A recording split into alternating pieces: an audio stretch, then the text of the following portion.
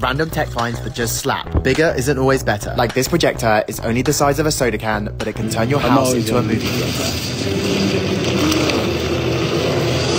Small enough to live in a drawer, wireless, and the battery lasts for two and a half hours so you can take it anywhere. When you want to watch something, it has a built-in sensor here which automatically adjusts the picture so it looks the best. It has Netflix built in so you only need the projector and the remote for it to work. It's 1080p and it uses lasers to form the picture so the quality is insane. If you want to learn more about the Anker Nebula Capsule 3 laser, you can check it out in the link in my bio.